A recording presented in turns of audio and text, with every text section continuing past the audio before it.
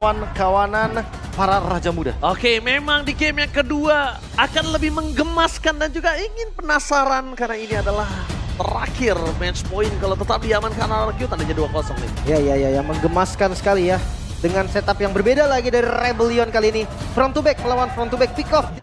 Ya, Gue ngeliat masih ada masalah di midnya sih. Oke, tapi lihat di pasar depan sana, Flicker telah dikeluarkan, ada banget Susuji mencoba mendapatkan mid. Dan spill out pada dapetin first blood. Looking for double kill di tangan. Kan menjadi keuntungan buat Idok karena dia bakal nge-camp duluan juga. Oke, informasi telah didapatkan menuju ke depan sana. Kars udah level 4, tapi kondisinya dari Diamond yang memasang Kars terlebih dahulu. Tifa akan cepat terjadi. Idok akan berhasil menjadi point kill pertama, tapi nampaknya Kars bersama dengan kawanan lainnya. Mission damage-nya kan berbeda, tapi mampu ke hierarchy setup.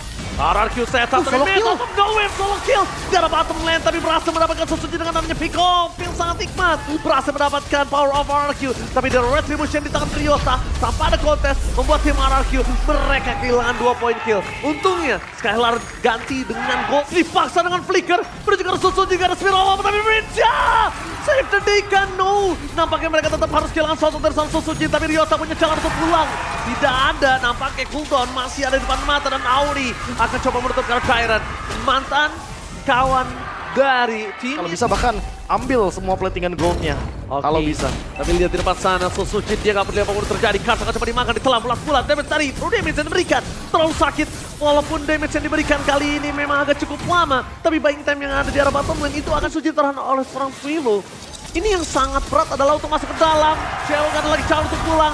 Mereka harus relakan damage. Satu build damage mereka hilang. Dan Udukas memaksa balik ke arah belakang karena Skylar. Tapi damage-nya terlalu besar di depan sana. Skylar harus coba mundur ke arah belakang. Informasi yang diberikan dari para pasukan dari tim RRQ. Skylar selamat tapi nampaknya Daryl tidak. Kar still survive dari top lead. Terlalu perkasa. Defense Judgment. Kali ini menuju ke arah seorang Idok. Lihat pick off yang sangat berhasil. Tapi di balik sana mereka mencoba untuk menukar dengan Ryota. Tapi Ryota tidak bisa di pick off dengan instan. Lagi Kars, kayaknya bukan target yang tepat. Oh, Win sangat Pasif. coba untuk menjaga pasif di depan sana. Menuju ke arah Swallow. Witold menuju ke arah audit desa menutup para pasukan dari tim. Udah pasti gak sih? Iya. Siapa pun ya yang miss Rontok opener. gak sih? Tapi lihat penalti zone menuju ke arah belakang. Kyler berhasil cabut dari hantaman seorang Kars. Dan langsung hilang begitu saja. Spray down. Tembakan peringatan Bror berhasil membuat para pasukan dari tim RRQ. Mereka kehilangan menuju ke arah Lord mereka. Waduh itu udah bukan hanya tank kill dari Audi CS. Ke arah belakang. Idong mencoba Oh, diselamatkan dengan Spiral Baba. Tapi Matt menjadi tujuan utama. Damage dari Sosoji terlalu besar. Yang akhirnya membuat Ryota tumbang. Lordnya jadi... Banget. Kalah Makanya. sekali bos. Oke, tapi lihat di depan sana dipecah menuju ke arah belakang. Aidok dan bahkan Rosok dari Kas berhasil menutup pasukan Aros itu maju ke depan. Wicca masih ada pasir, Skalar mencoba untuk membantu tapi sedikit terlambat. Namun kita dikeluarkan. Mau dihilang, David dari Skalar terlalu besar. Berada Rapati, gak bisa menumbangkan Skalar. Tapi dia dengan dua poin kill mendapatkan membuat dapatkan adalah Audi gak ada konsil. Tapi dia bisa instantly untuk masuk flicker dan defense judgment menghukum salah satu player RRQ.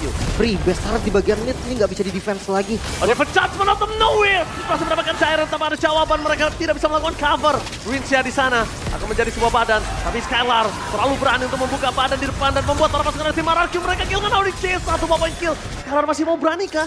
Karena tidak ada damage yang bisa diberikan. Dan sih bahaya banget sih. Tapi Tyrant memasang karena Mate di depan sana hilang. Jatuh! Pun terjadi para pasukan dari tim RRQ memasang timpa dengan tidak ada ke Tyrant. Tapi dengan win of nature mereka masih coba untuk bertahan. Oh, no. Ryota bersama dengan kawan-kawanan dari tim Rebellion mereka harus mundur ke arah belakang. Karena dengan tidak adanya Matt mereka tidak punya power. Matt ngebuka badan, map awareness. Semua yang mereka miliki, tapi lihat Gitok di depan sana. Maka coba untuk membuka badan. Hanya menakut-nakuti. Membuat para pasukan dari tim RRQ dan bahkan di depan sana. Miss. Miss yang diberikan untuk para pasukan dari tim RRQ. Mereka harus mundur sejenak, tidak boleh terlalu terburu-buru. Dapetin mid turret aja udah bagus untuk mereka. Idok! Udah rest dapetin satu tembakan instant Mikau! Idok! Berhasil membuat para pasukan dari tim RRQ mendapatkan positioning dan mid versus Tyron itu Oh nggak terlalu worth it. ke arah base-nya. The what the epic comeback yang dilakukan RRQ membuat para pasukan dari tim Rebellion kehilangan momentum. Ini bencana! Double Oh, kill looking for wipe Skylar. RRQ berhasil membalikan keadaan